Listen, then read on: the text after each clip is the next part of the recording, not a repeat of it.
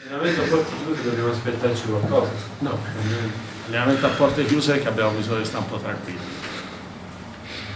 Io purtroppo ho un caratteraccio.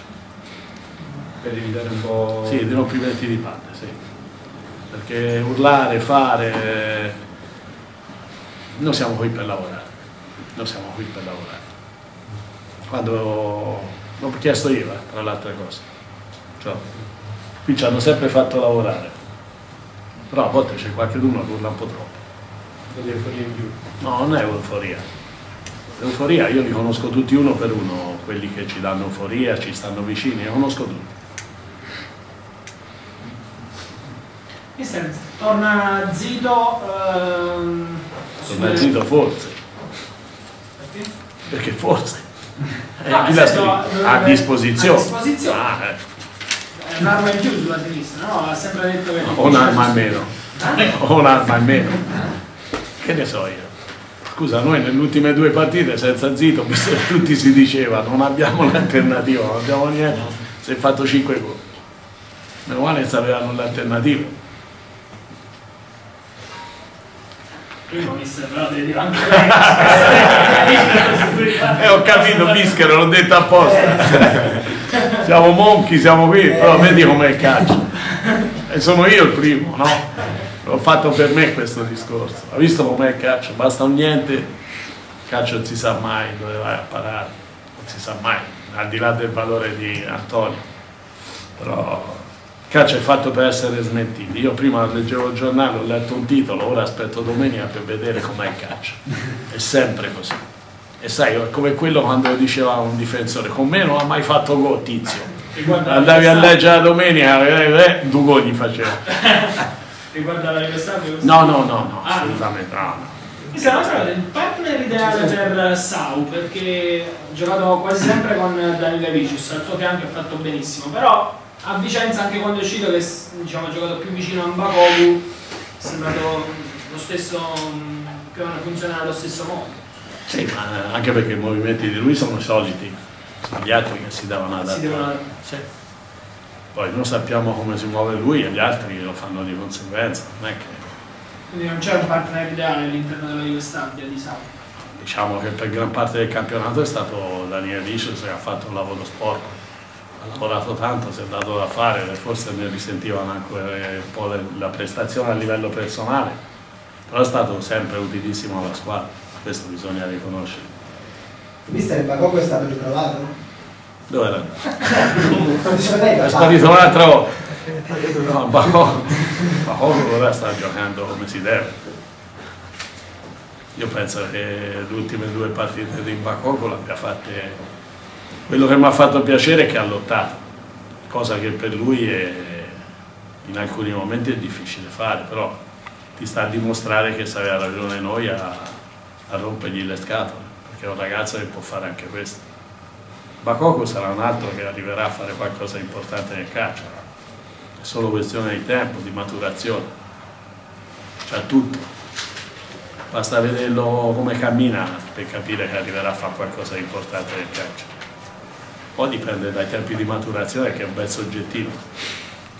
Ogni tanto No. serve una svegliata. Sì, mi serve, come si dice, una volta lo tratti bene, una volta dopo devi stare attento a dargli una trambata perché sennò poi si rilassa. Però è un ragazzo che secondo me ha delle qualità, come ce ne sono anche altri qui che in questo momento qui si stanno cercando di adeguare, che può essere Beretta, lo stesso Falcinelli, sono tutti ragazzi che hanno delle qualità, che sono arrivati in un contesto diverso da dove erano abituati. E gli ci è voluto tempo, tempo e tanto, tanto sacrificio perché quando arrivi qui fanno fatica a trovare i ritmi che hanno gli altri. E allora gli ci vuole un pochino di tempo. Però hanno delle qualità, chi hai presente sono ragazzi del 92, 91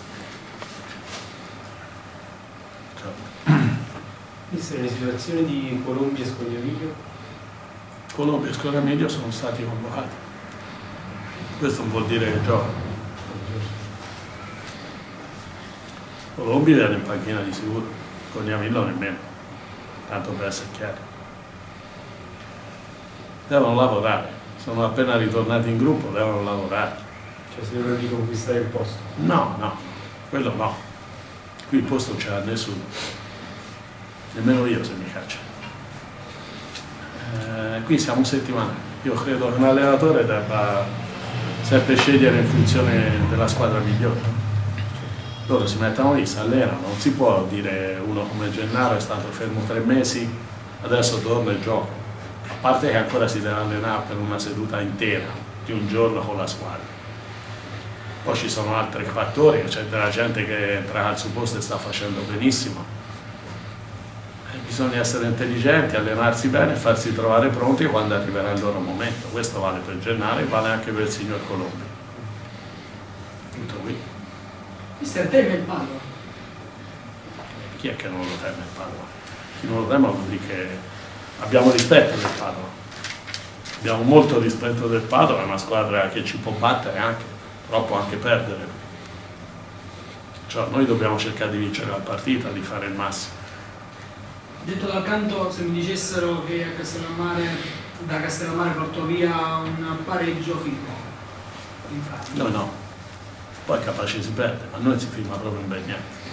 La partita ce la vogliamo giocare, sappiamo delle difficoltà, questa è una squadra con giocatori di Serie A, però siamo a un certo punto del campionato che ci possiamo permettere anche qualcosa in più, no?